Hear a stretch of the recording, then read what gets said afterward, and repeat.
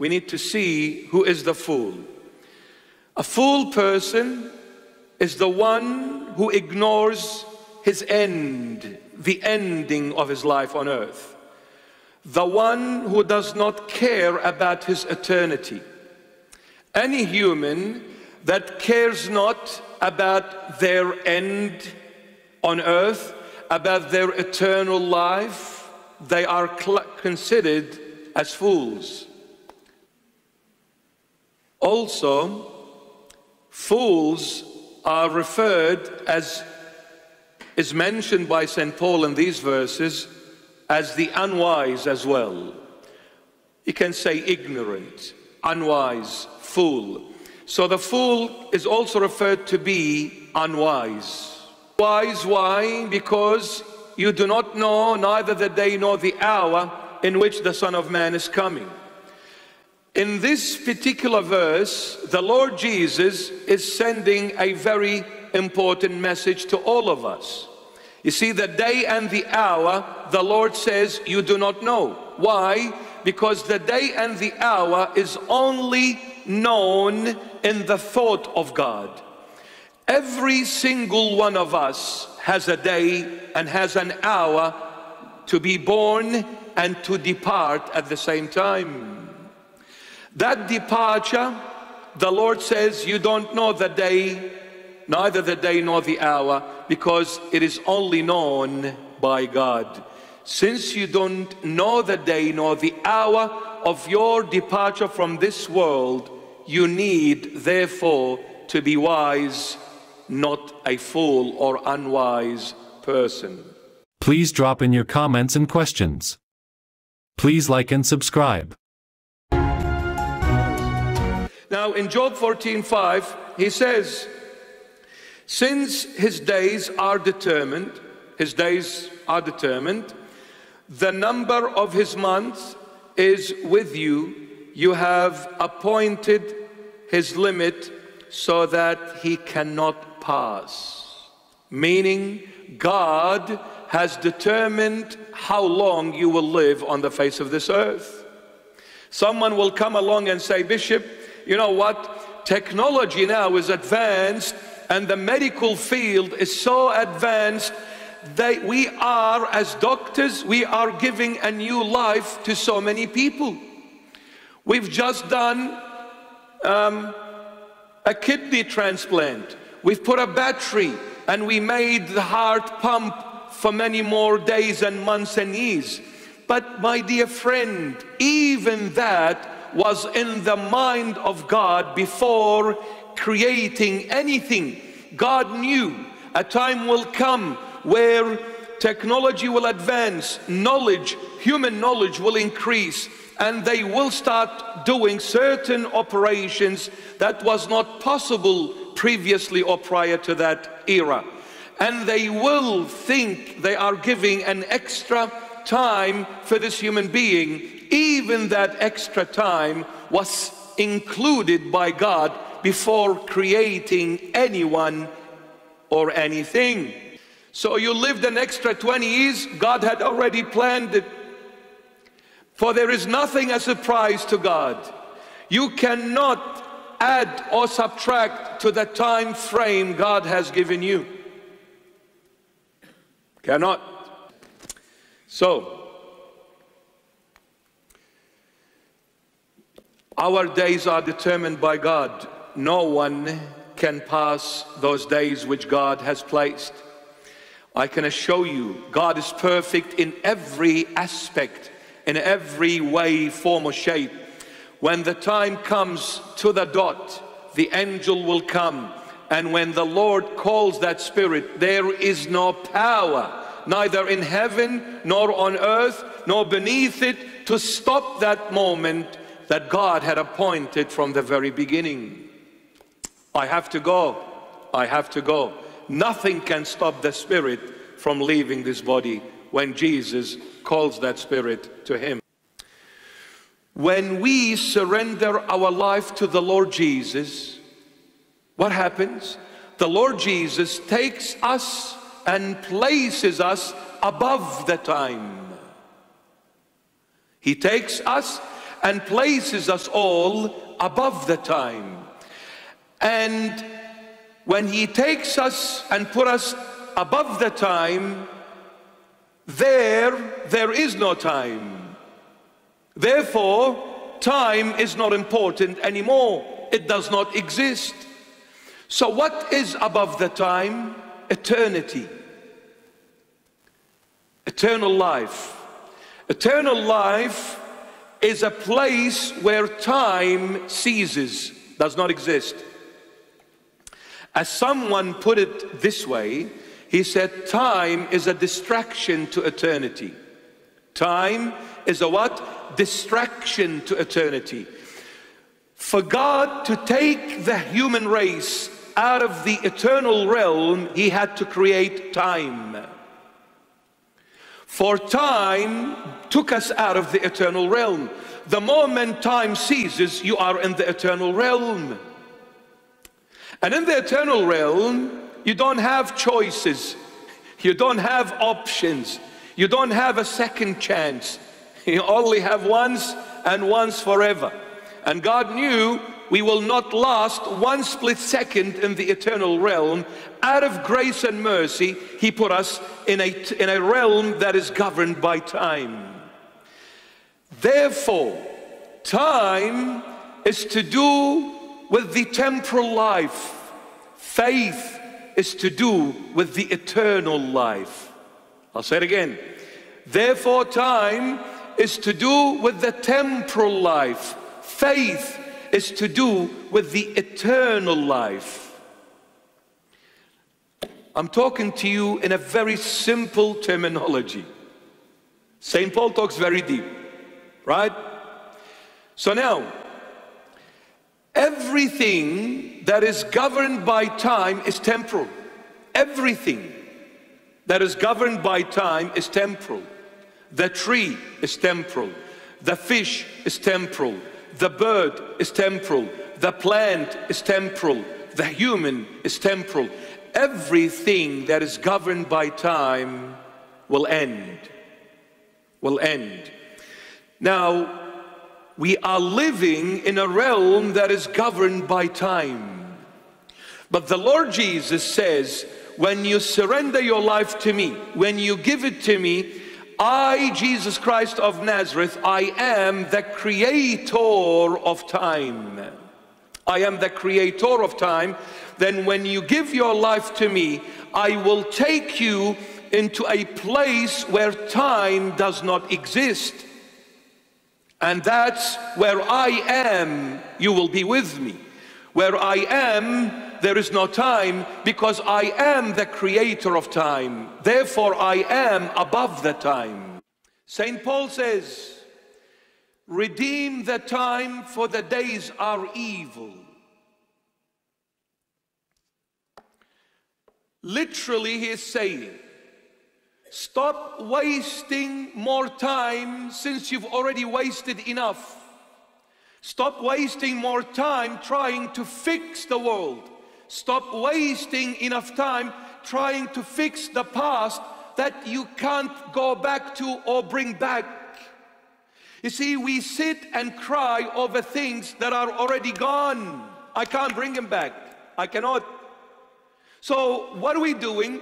I am wasting more time, valuable time, trying to fix something that is gone.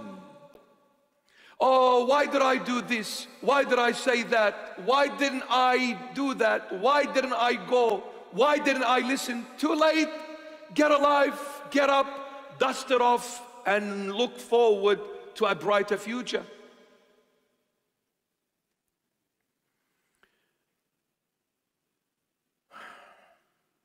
Now, please pay attention.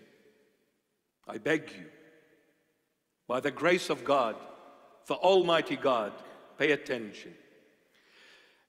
Everything we do, everything we say, everything we think of outside of Jesus Christ is evil.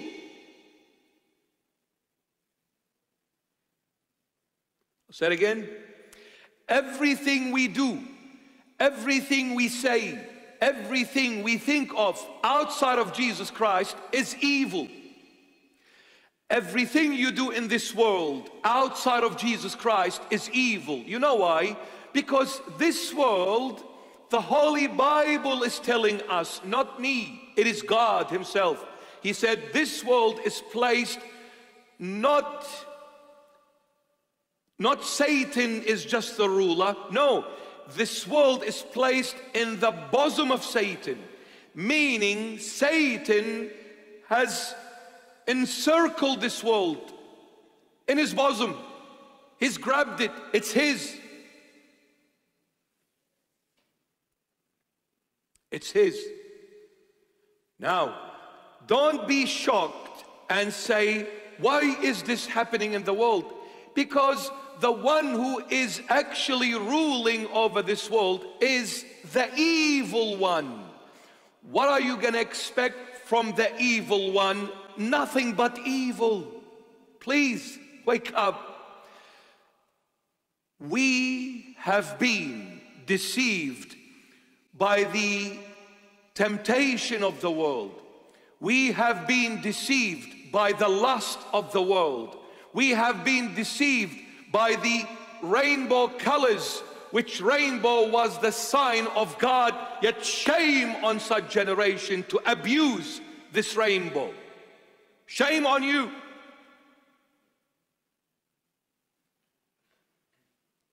All these colors, holidays, clubbing, dancing, eating, drinking, fashion, botox, drugs, alcohol, gambling, and floating around in this world, it is all evil, evil, evil. There is no such thing as I was having fun. We need to define what is fun. Don't be a fool, be wise. Do not just throw words left, right, and center without thinking about what you're saying, without focusing on what you're saying, without weighing what you are about to say. You need to be wise. You need to be wise. Luke 24 13.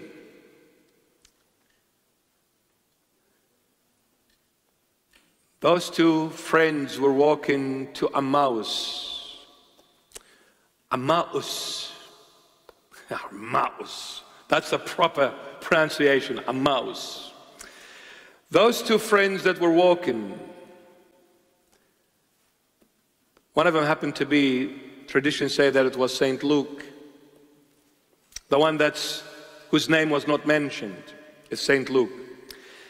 They were walking and then the Lord Jesus was walking behind them and got to them. And he saw them talking and troubled, and you know, they were in a lot of turmoil. He said, What's going on? He said, They said to him, Oh, looks like you're a stranger. You have no idea what happened in the last few days in Jerusalem. He said, What? He said, Oh, this Jesus Christ of Nazareth, this holy man of God, you know, he came and he said, I am it. I am the Messiah. I am the Savior. I'm the Redeemer. I'm God revealed in the flesh. We followed him for three years and a bit. And now they just crucified him and they put him in the tomb. And it looks like it's a hoax. We were lied to. He was a great manipulator and a deceiver. And now we're confused, we're lost, we're destroyed. So we said, Let's go back to our town. This is enough embarrassment already. We've had enough of this nonsense. Even some of the women who accompanied us, they went to the tomb and they came back and they said, they saw angels and the angels said to them, why are you seeking the, the living among the dead? He is alive, he's risen. But we didn't believe. So the Lord said, you foolish ones foolish, unwise. I just told you, you fools, a few days ago. I'll be handed over to authorities. I'll be crucified. I will be put in the tomb, I'll rise on the third day, and I will see you again. How could you forget so quickly and so easily? Fools. Third one, 1 Corinthians chapter 15. 1 Corinthians 15 36. St. Paul says, You fool. and 37 he says, Look at this, I'll read it. 1 Corinthians 15 36. Foolish one, what you saw is not made alive unless it dies. Verse 37 And what you saw, you do not sow that body that shall be, but mere grain. Perhaps wheat or some other grain. What is St. Paul saying? You fool, foolish one. What you sow will not live unless it dies first. If, we, if people say, I'm not going to believe in God unless I understand. See, some people, they want to believe in God when they get it in their head. Sorry, doesn't work that way. If everything is logic, and we've got a problem here. The, the grain of wheat, for as long as it's outside, it's dead. As long as it's outside, it's dead. Now, how do you know if this thing is dead or, or alive? Movement. Movement is the sign of life. When there is no movement, it's a sign of death. If someone is asleep, if I'm asleep and I'm not snoring, I'm not moving, I'm not making no sound, no noise, it's like I'm as if I'm dead. But the moment I move, oh, he's still alive. So movement is the sign of life. When you look at the grain of wheat, there is no sign of life because there is no movement in this grain. Now, how can your intellect accept this and believe in this that unless you bury this grain of wheat, unless you kill it, it will never live? The moment you bury it, then it becomes alive. Now that's illogical. that's, that's crazy. What you saying? You need to bury something for it to be alive? He said, yes. If you don't bury it, it's, not, it's, it's dead. The moment you bury it, it's alive. It's the other way around. Then why don't you believe that when we bury our loved one, now they are alive? Not while they were on earth. You see, while on earth, we are that grain of wheat, we're dead. The moment we're buried, then we are truly alive. As one church father said, we are walking corpses. Time is ticking. We're all dead. We are walking dead people. Dead people walking. But the moment we are buried, we become alive, just like that grain of wheat. As long as it stays outside, it's dead. The moment you put it underground and all that soil on top of it, now it's alive. But you see, when you plant that seed and when you bury that seed, you get a much greater produce than one seed. You plant one, you get 40. But not only 40 seeds, you get a stump and you get a flower, you get a head as well. So what you planted is not what you're gonna get. What you're gonna get is much greater than what you planted initially.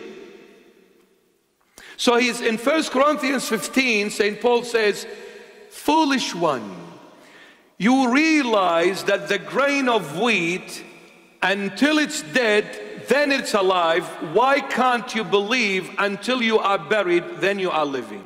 Why can't you believe it? Why, when we bury someone, we mourn for them for years and years, especially Middle Eastern culture? Oh, my, my, my. Middle Eastern, it's forever. Uh, you need to learn from the Aussies. Karania, mate. The Aussies, they buried their loved one, they'll go back, cheese, bro. Yeah, he was a great man, but it's a great wine as well. We don't sit fees crying, dressed up in black. I will never be happy again. Don't come ever and tell me, let's go to the wedding. I'm not going to no wedding. My loved one is dead. I am dead. I am dead. You're not. Wake up.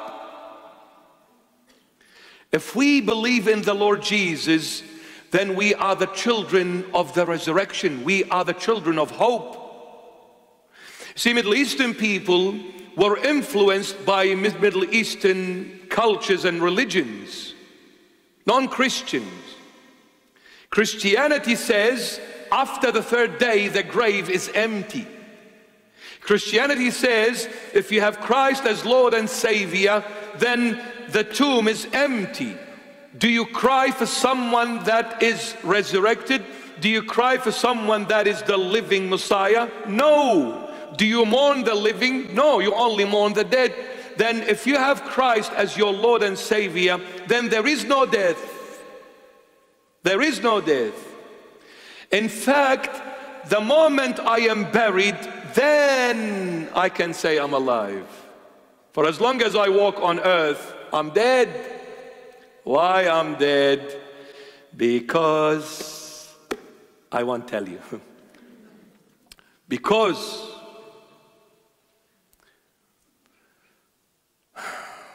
I'll ask you this. Oh, sorry. When do we stop sinning? When we die? Absolutely. When we stop sinning? When we die. For as long as I'm in this flesh, my eyes are open, I can hear, I can see, I can smell, I can walk, I can touch. I am always susceptible to making mistakes. I see things, they make me fall. I hear things, they make me fall. I walk, they make me fall. I touch, they make me fall. For as long as I'm in the flesh, I am a sinner. And if, if anybody says that you are not a sinner, you are mistaken. For the Lord Jesus did not come to deprive you from your will.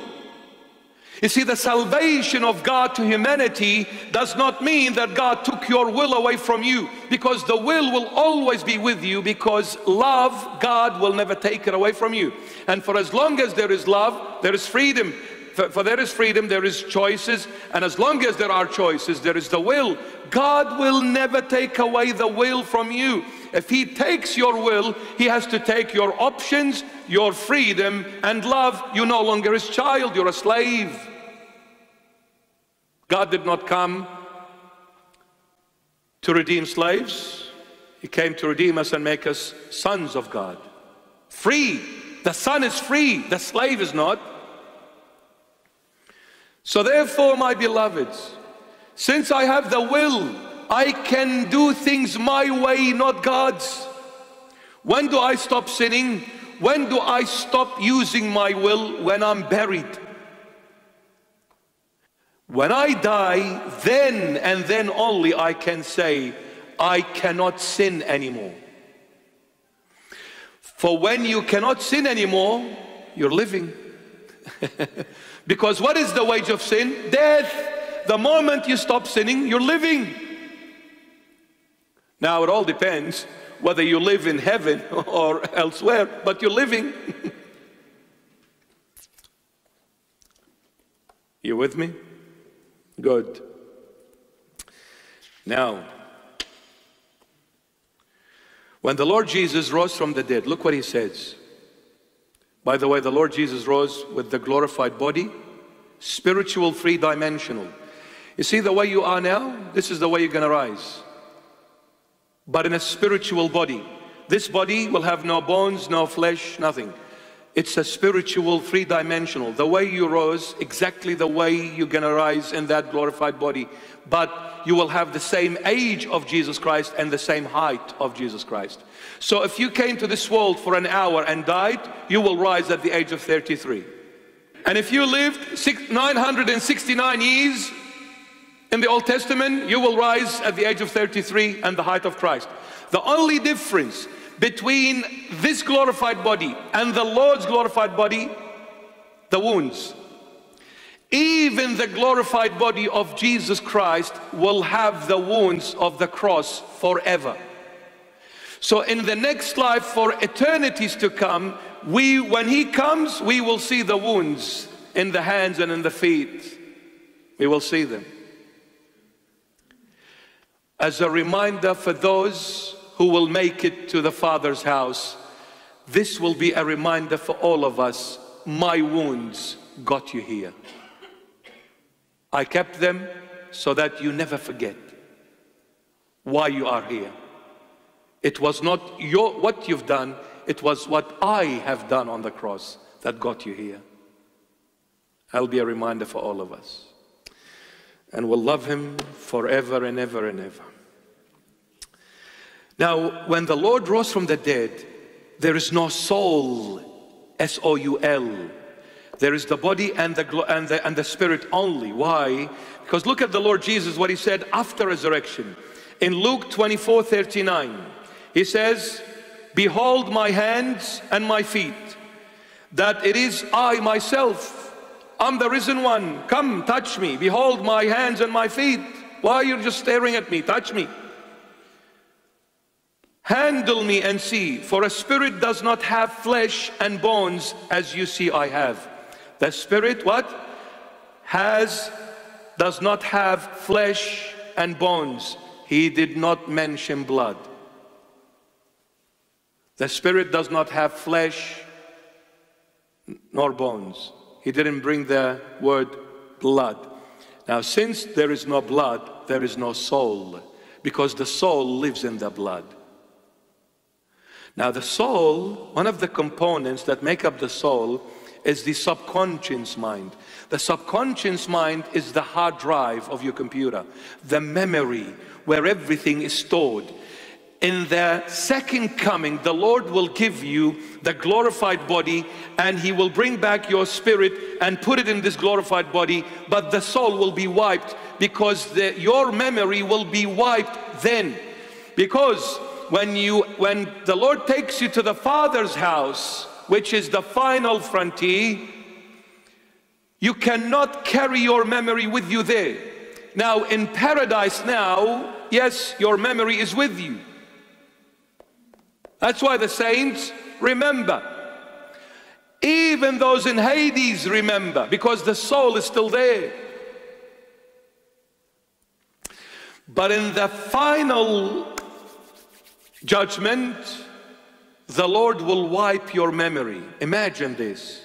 The Father enters with the Lord, the Son goes to hell. How can this Father be happy and enjoying the presence of the Lord, remembering his Son is in hell? He will wipe it. So there, you will not see and recognize that this was my mother, this was my father, this was my, you will, rec- you will not recognize none of that. The memory is gone. You'll only recognize one, Jesus Christ of Nazareth. Everyone in the Father's house will know Jesus only. Your father standing next to you, you won't even know. It's your, it's your dad. The memory is gone. Because the Lord is fair. He says, you suffered enough on earth. The time has come to give you comfort and joy.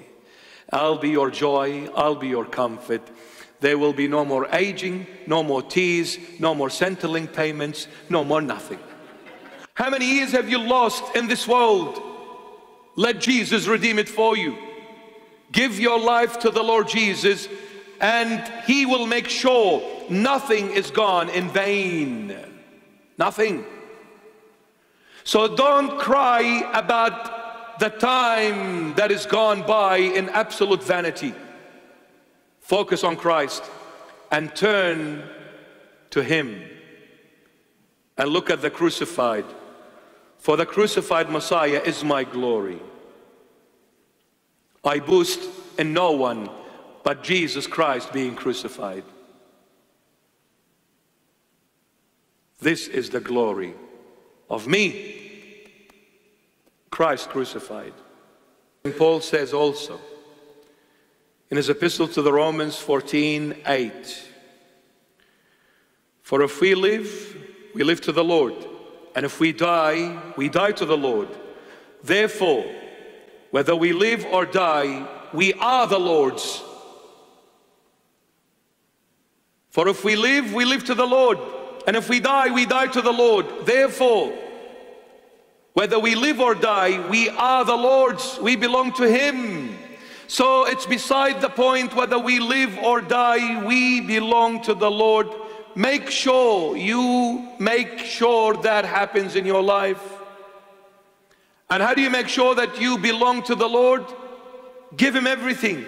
Give Him your life. Surrender everything to Jesus Christ and say, Lord, you take over. You look after me, my family, my loved ones, the entire people that are in my life whom you have given me and showed me. I surrender everything in your capable hands.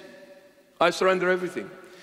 And then stop worrying. Stop pulling your hair out and say, My sister is not talking to me. My brother is not calling me. My wife has given me hell. My husband is not listening to me. No, the moment you give everything to the Lord, give it and walk in confidence that Christ has taken it on board and now He is the responsible one for you and for everyone whom you have entrusted Him with. Leave it to Him.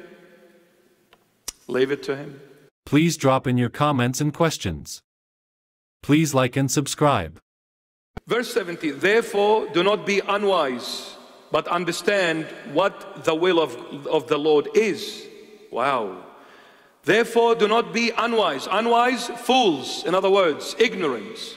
Do not be unwise, but understand what the will of the Lord is. Unwise or fools. The word fools is mentioned in the New Testament three times.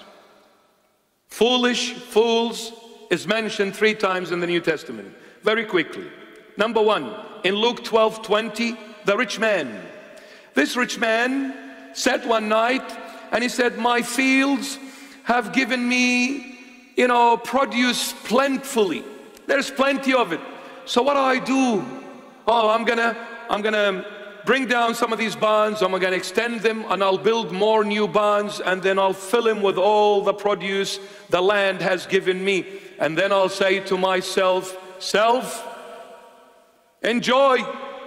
You've got plenty of wealth that will last you for many, many, many, many years to come. Enjoy it. God came to him that night and he said, You fool. Your life will be taken away from you this very night. All this. What for? Yes, the land gave you plenty of produce, correct. Yes, this produce will last you for many, many, many years to come, correct. But my dear friend, are you gonna live these many, many years? No guarantee, you fool. No guarantee. What are you planning? What are you doing? Wake up. Wake up. Please wake up. Jesus Christ is the only truth. I don't care you're a Christian, you're a Muslim, you're a Buddhist, you're a Hindus, you're an atheist. I don't care what your religion is and what your color is and your race is. And I don't care with all love and respect. Believe me, I'm saying this. Believe you me. Believe you me. You die as a Muslim. You die as a Buddhist. You die as an atheist. You die as a Hindu. You die as a Christian. Believe you me, you will only face one. Only there is there's only one God. This God, his name is Jesus Christ of Nazareth. The only one. This is the truth. Nothing to do with this uniform. Nothing to do with this outfit. Nothing. Christ has got nothing to do with this. Doesn't matter, I dress up in a long skirt with a tent covering my head. This is very ancient, by the way. This goes back all the way to the third century. Yes. Very ancient.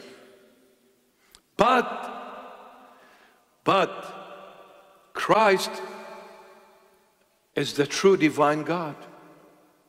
We need the Lord Jesus, my beloved. Therefore, do not be unwise, but understand what the will of the Lord is. How do I know what the world, what the will of the Lord? How do I know? What is the will of the Lord in my life? We ask this question a lot. What is the will of the Lord in my life? How do I know what is the will of the Lord in my life? Yet this world is placed in the bosom of Satan and the days are evil. How do I know? He says, You want to know what the will of the Lord in your life is? Read verse 18. And do not be drunk with wine, in which is um, this uh, uh, dissipation, but be filled with the Spirit.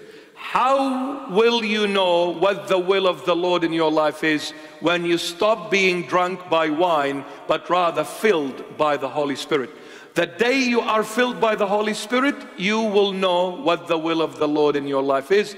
Because the only one who can reveal to you what is the will of the Lord in your life is the Lord Himself. And the only way the Lord will reveal it is through His Holy Spirit that is dwelling in you. Now, how do I make the Holy Spirit work in me? Verse 19 This brain, God put it there for it to think. It's got to do a job. You can't stop it. This is to think. If you do not, if we do not, if we do not preoccupy this with the Word of God, Psalms, it's going to be preoccupied with the word of the world which is placed in the bosom of Satan. If you do not get busy with Christ, you will end up being busy with Satan. Because this is it. It's either the light, Jesus Christ, or the darkness, Satan. You can never claim to be free. Please give up on this nonsense. You're not free. There is no such thing as its freedom. There is no such thing as democracy. Please stop listening to the mainstream media. Please stop listening to the Western world speaking about United Nations, human rights. This is evil nonsense. They have enslaved the human race under the banner of human rights. I beg you, they have enslaved the human being under the banner of human rights. Because there is no freedom in the world. The world is placed in the bosom of Satan, the killer of mankind, the snake, the poisonous cobra.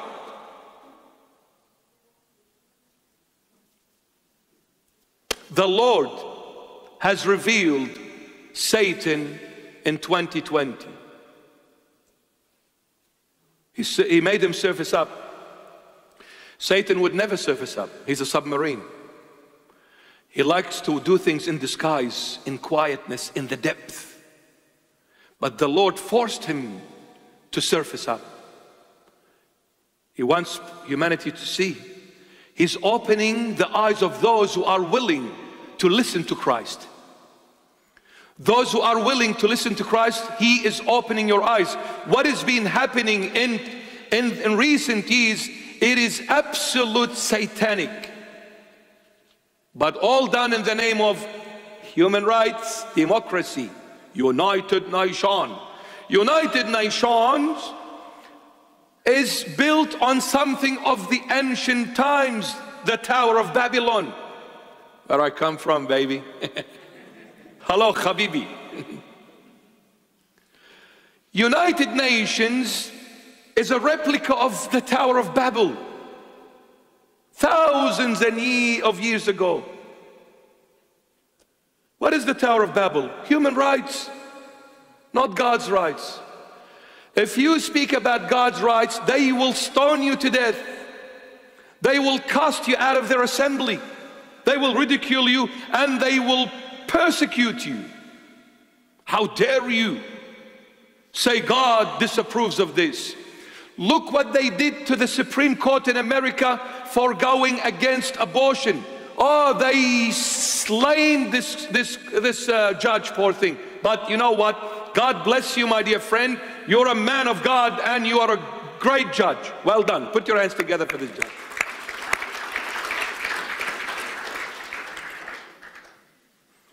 You have your body and you do whatever you want with it. It's not your body. You little fool. And this baby in that womb is not yours to do whatever you want.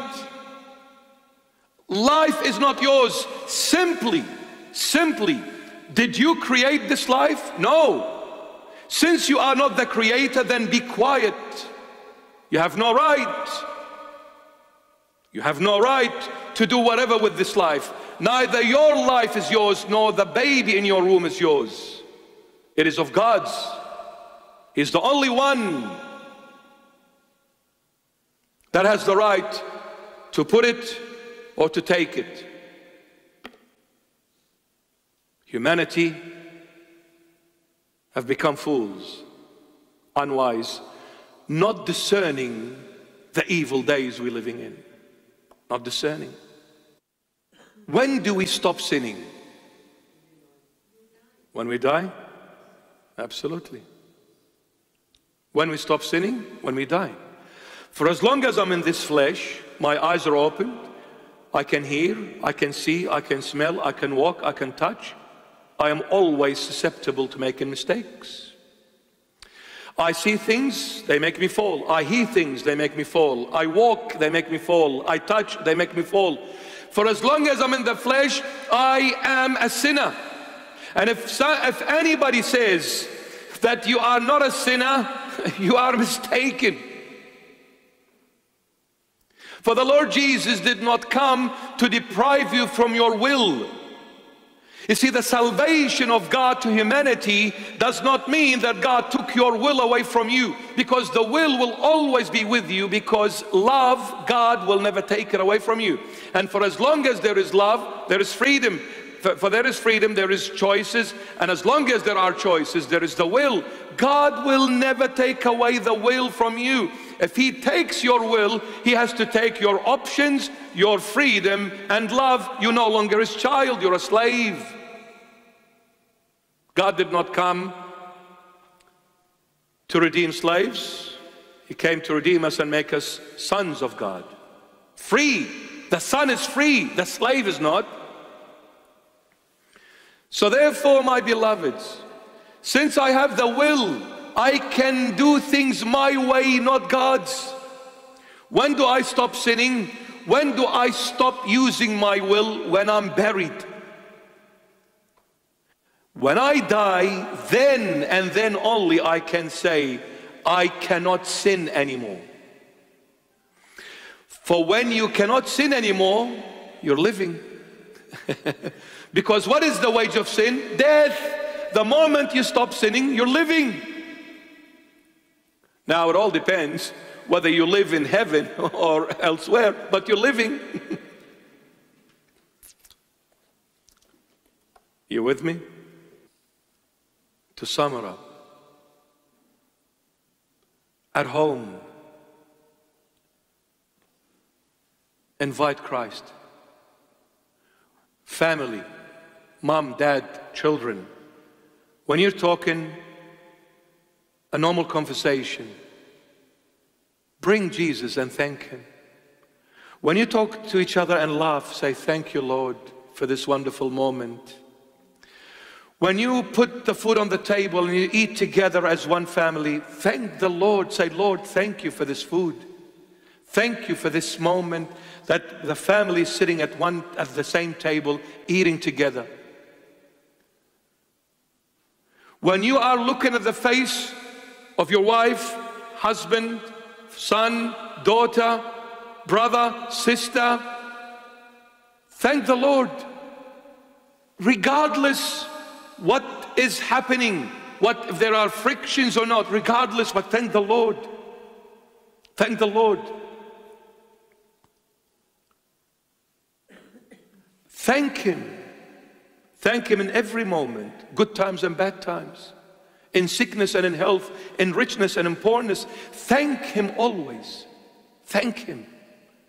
He will reveal His will when you thank Him. And then singing to Him. Don't, don't sing to the world, sing to Christ. So many beautiful voices, yet lost, singing vanity. Hollywood.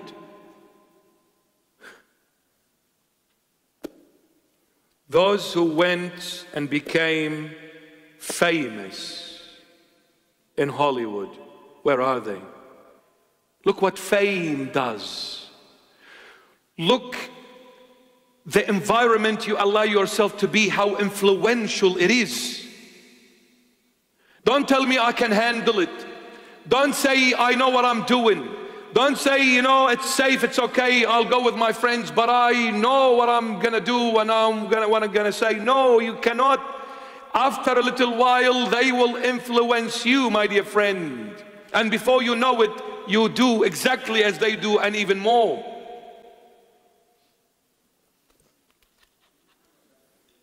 Sing to the Lord Jesus. Praise the Lord Jesus. You know, when you sing a song that has the name of Jesus in it, the moment you invoke His holy name, you are in a different realm. You are engulfed from within. You are filled. You are enriched. You become someone else. So beautiful.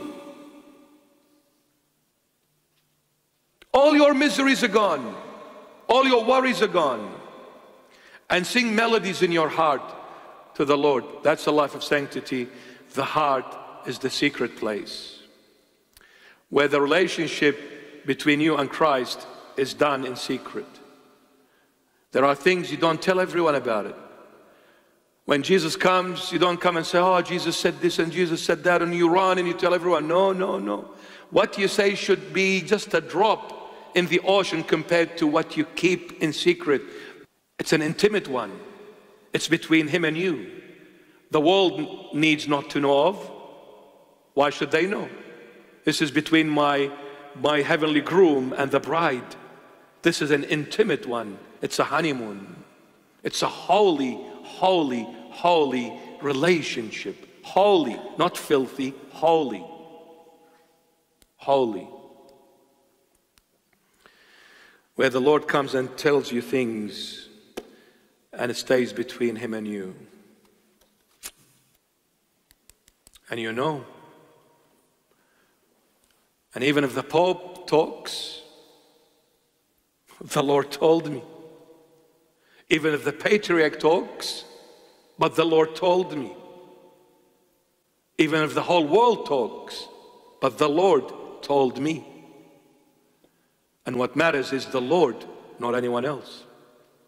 No one comes before the Lord. No one.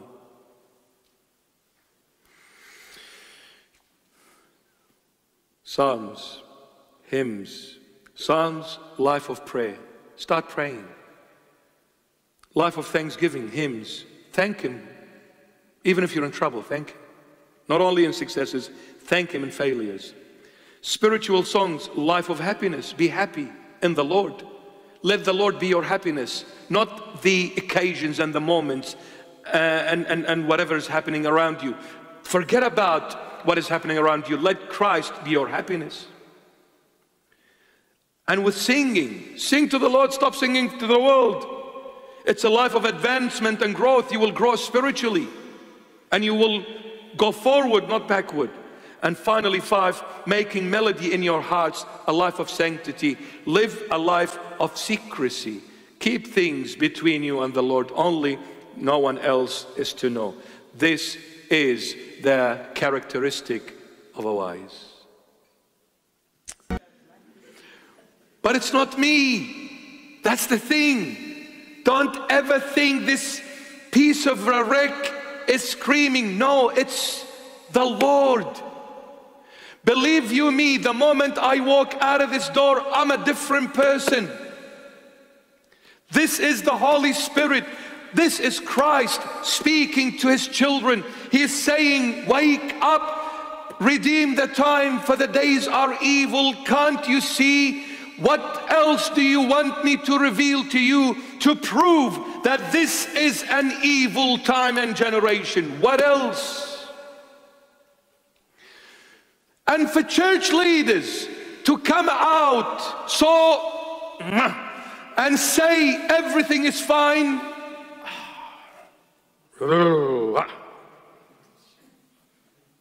Everything is fine. Yes, everything is fine in the Lord. But don't tell me what's happening in the world is from God. If you say that, don't stand before me because only God can save you from me. Only God. Don't stand. If you're saying this is from God, yes, this is a disciplinary action from God, yes, but through Satan. God is the source of life, not death. God is the source of light, not darkness. But he left Satan to do God's will. He knew humanity are not going to listen to him, so he left Satan as a disciplinary action in the negative way. God cannot punish you in a negative. Therefore, he left Satan to use him as a tool. So, what's been happening? 100% evil. Nowadays, people are joyous for evil things. Oh my goodness. Oh my goodness. You cannot refer to your child as he or she, you need to say it. Well, if this child is an it, then you are an it, and since you're an it, then you are nothing to me. The next time you talk, I'll say, Who is it? It is, it was.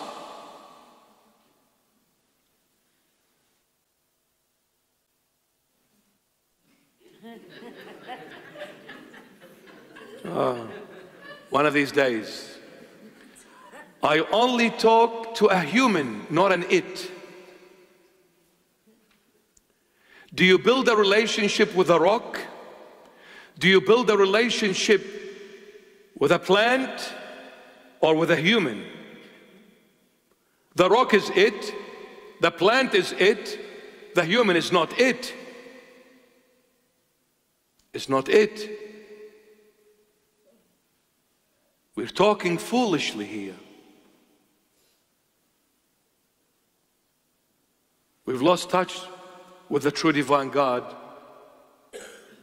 the source of wisdom. The source of wisdom. Please drop in your comments and questions. Please like and subscribe.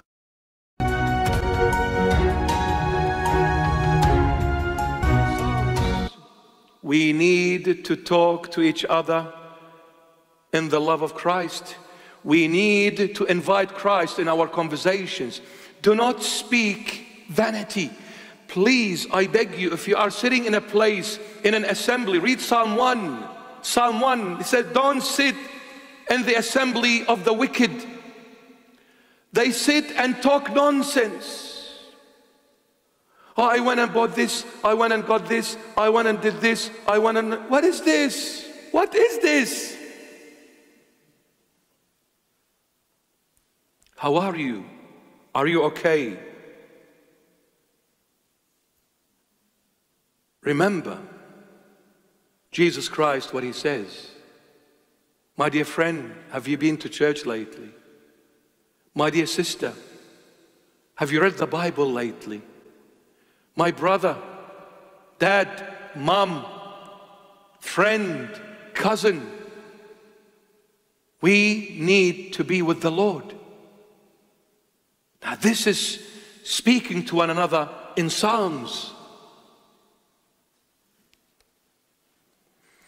If you have a life of prayer, that is Psalms. Speak to one another in Psalms. Have a life of prayer. Also, speak to one another with what? Hymns, the life of thanksgiving. Speak to one another in spiritual songs, the life of happiness. Speak to one another in a way of singing, the life of advancement and growth, and speak to one another in making melody in your hearts for the Lord. That is the life of sanctity. If you have a life of prayer, a life of thanksgiving, a life of happiness, a life of advancement and growth, and a life of sanctity, the Holy Spirit will reveal what the will of the Lord is in your life. We're too busy with this world, and then we say, How come God is not telling me what He wants from me? Of course, He won't.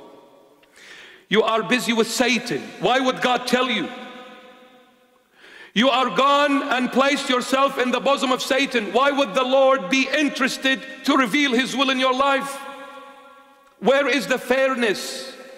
Do you see, my beloved friend? If you spend your time in the club, why would Jesus tell you what He expects of you? If you spend your time in drinking and gambling and drugs, why would the Lord reveal His will to you? If you spend your time in the dark alleys and the Star City casinos and in Las Vegas and King's Cross, why would the Lord Jesus reveal His will to you? Tell me why. It's not fair. If the Lord reveals His will, then He is not fair, and far from Him, He is the fair one. But come to church, read His word, sing to Him, love Him, thank Him always, and see if the Lord is going to tell you or not. He will, for He is faithful to every promise He made, He delivers. He delivers.